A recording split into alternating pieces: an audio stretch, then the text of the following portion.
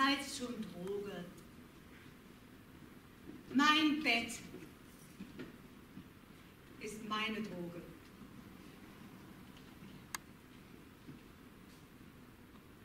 Mein Morgenkaffee.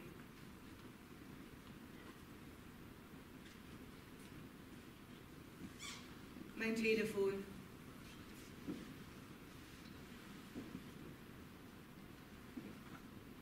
Meine Gespräche mit dir.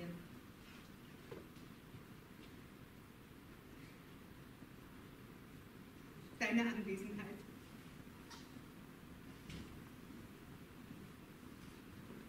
Die Zuneigung einiger Menschen.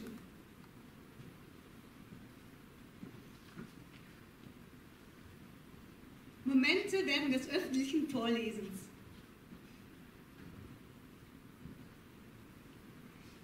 Gewiss gibt es zerrüttende, tödliche Drogen. Aber auch der Entzug mancher meiner Drogen könnte mich ruinieren. Ein kleiner grauer Elefant steht unschlüssig vorm Schönbichler auf der Wolzhalle.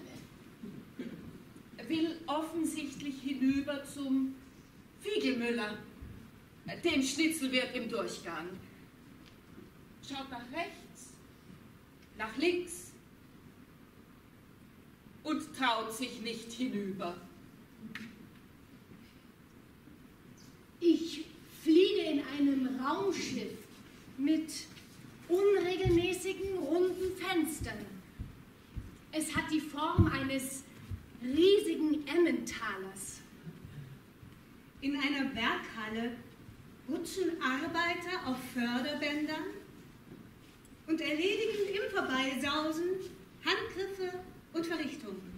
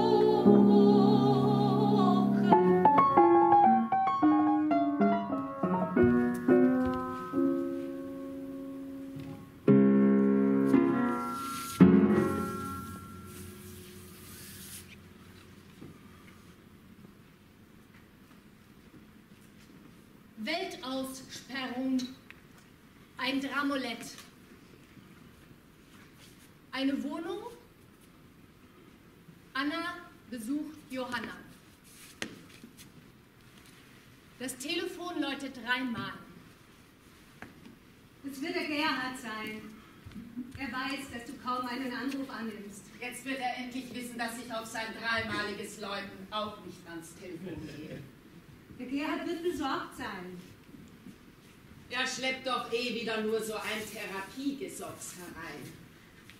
Wie ein Vertreter, der einem seine Ware andrehen will. Nein, danke.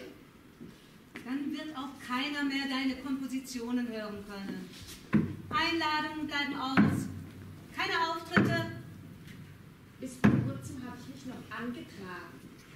Habe ich mich prostituiert kleine Konzerte für ein kleines Honorar.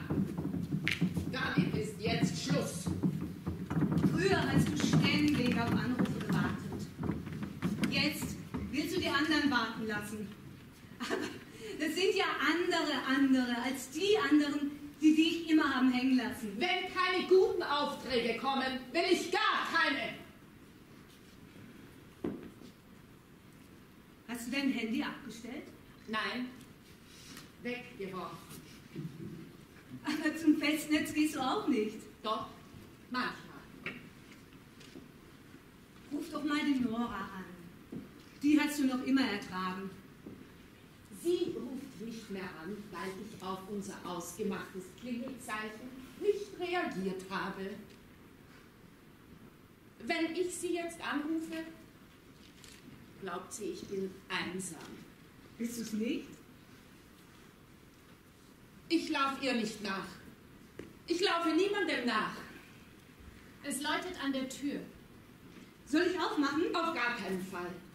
Ich will keine fremde Person hier haben. Aber vielleicht ist es der Bursche, der dir immer das Essen und die Zeitung liefert. Der stellt alles vor die Tür. Mit dem muss ich kein Wort mehr reden. Du sperrst die Welt aus, als wolltest du sie bestrafen. Mit der Welt, die ich bin, habe ich schon genug zu tun. Mehr Welt kommt mir nicht in die Wohnung. Das Telefon läutet dreimal. Soll ich? Nein,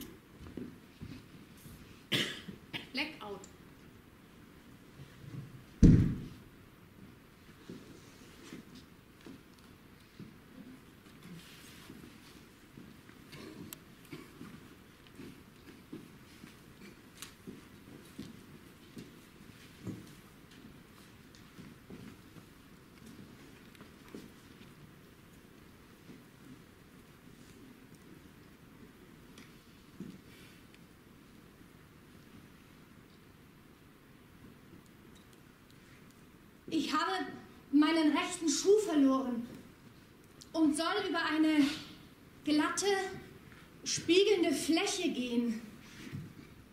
Wien, ein Theaterfoyer, Wände und Boden beige, keine Einrichtungsgegenstände.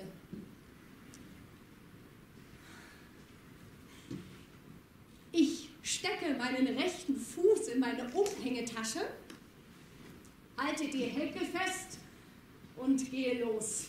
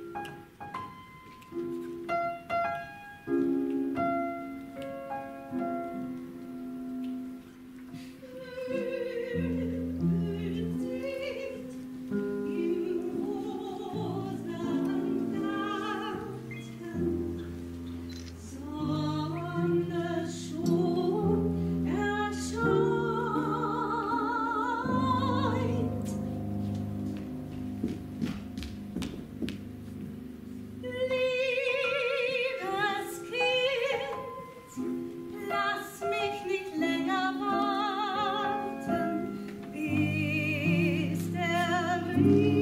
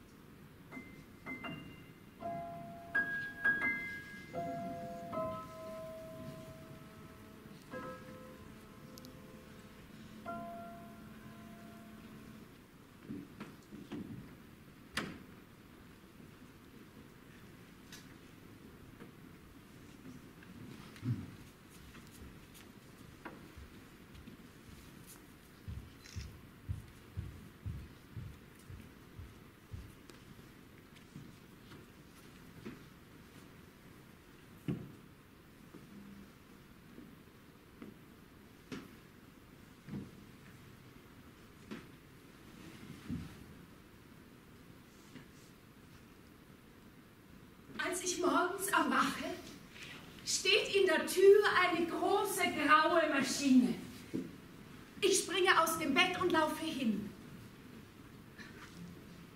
Es ist eine Rechenmaschine, die den Türrahmen ausfüllt. No!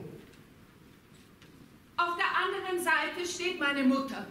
Sie kann eben noch drüber hinwegsehen und sagt,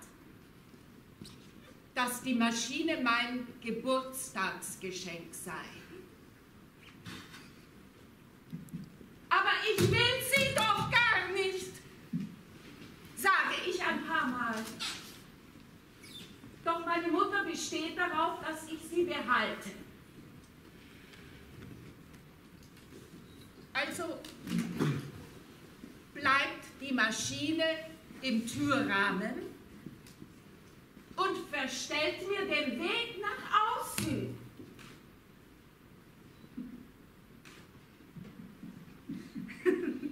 Traum vom Luft in der Luft sein. Ich konnte in der Luft gehen. Zehn Zentimeter über dem Boden. Meine sonst so schweren Füße waren ganz leicht. In Bewegung aufgelöst. Glücksgefühl.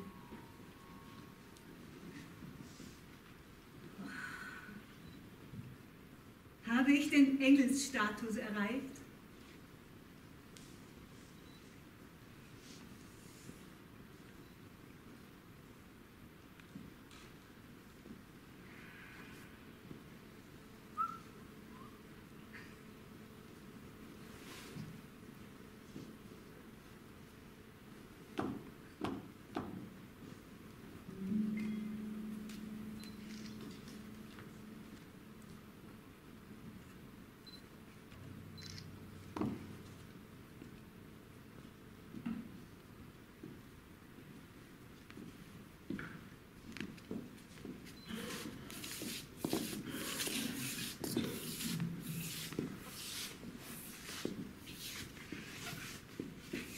Ni hao. Ja. This is a professor of sinology, early period, 1970s, no? Yes, that's true. So, it looks a bit Arabic here, but perhaps we could do some reading, huh? In homage to the Uyghurs. So, they will be locked up, but somewhat You live so far away.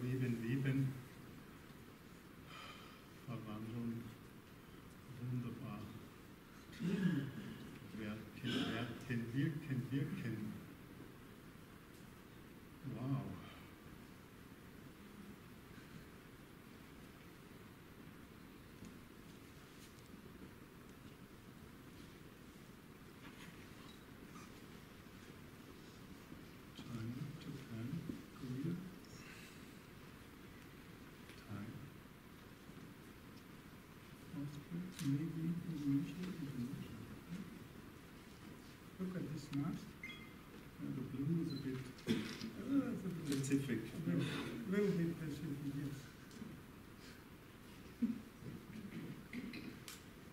Because those circles are again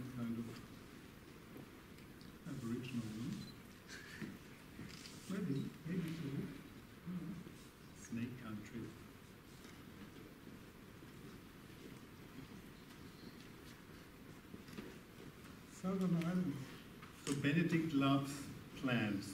Besides his gallery, he's doing a lot of pottery, replanting, studying green, and the roots, and all sorts of things. Isn't that right?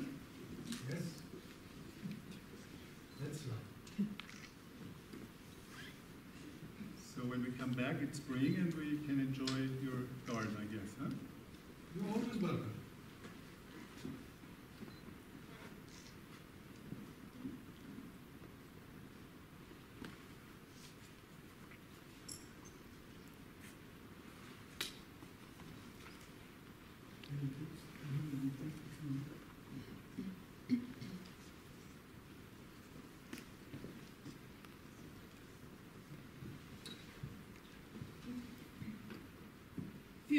Friederike Mayröcker.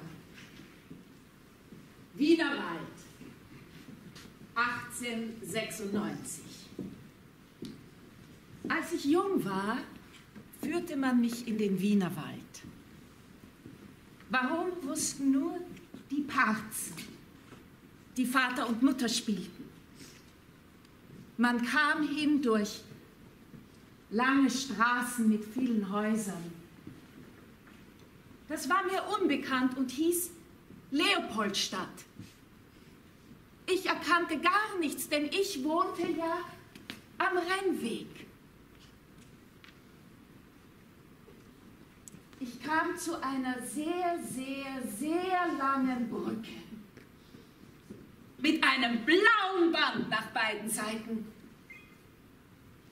Man sagte mir, das sei die Donau und sei tausend Meter breit. Ja, das konnte sein. Ich erkannte gar nichts. Von einem Wald war nicht die Rede. Was sich da ausbreitete, hieß der Prater. Und man kam zu so einem großen, runden Gestell. Das war das große Rad. Es hingen hässliche kleine Waggons dran herum. Die Parzen beschlossen, einzusteigen. Und langsam erhob sich zitternd das große Rad mit seiner Kiste. Der Anblick von oben, der war so nach allen Seiten ausgedehnt, dass ich gar nichts erkennen konnte. Auf der einen Seite waren eine Unmenge Häuser. Ja. Und auf der anderen Seite schien ein Wald zu sein. Nach einer Weile senkte sich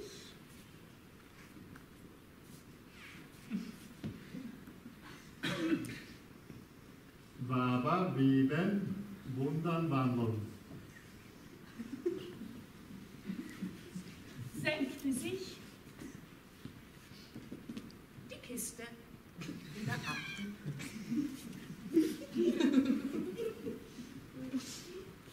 Unten angekommen, ging man fort und setzte sich an einen Tisch. Dort aß man dünn geschnittene Salami und trank Bier dazu.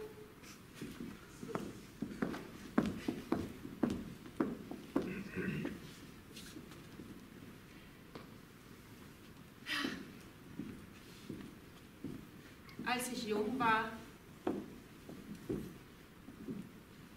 führte man mich in den Wienerwald. Warum wussten nur die Parzen? Die Eltern spielten. Auf mich machte das keinen Eindruck, denn ich erkannte gar nichts. Heute bin ich alt und niemand führt mich in den Wienerwald. Die Parzen, die Eltern spielen sind längst verschwunden. Und ich glaube, der Wienerwald auch.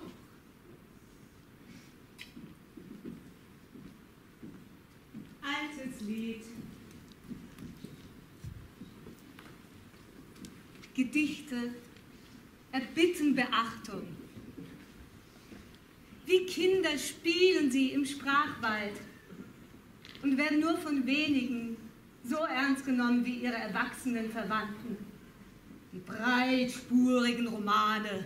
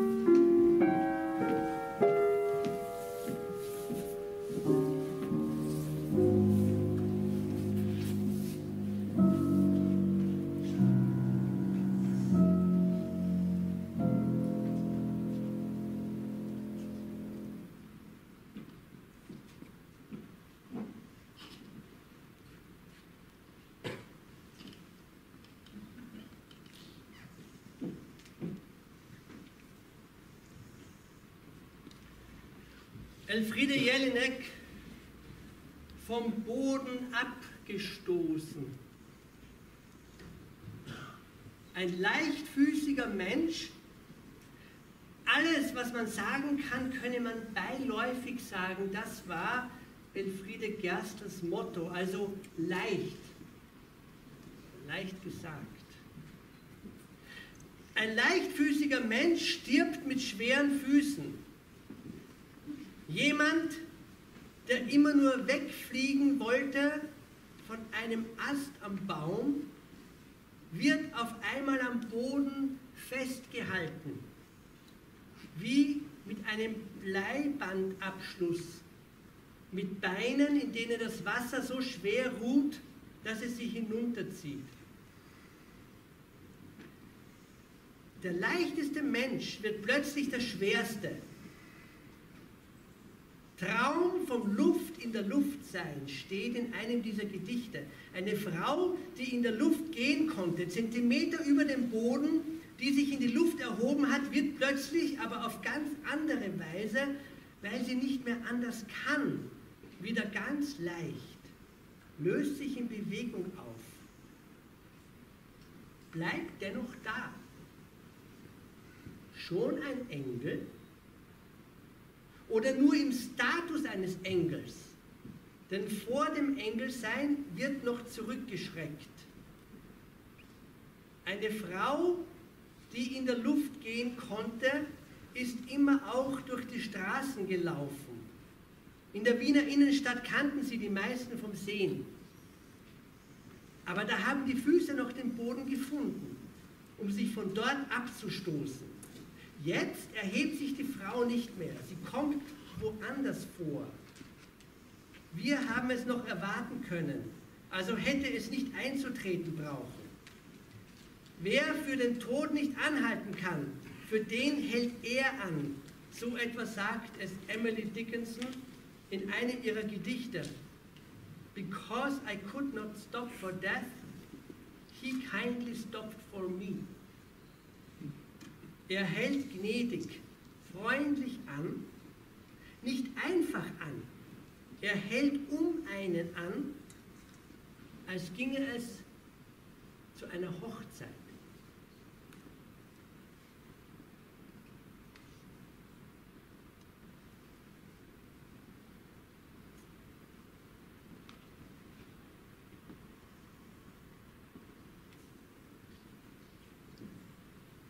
Enkel, Urenkel, Henkel, Schenkel.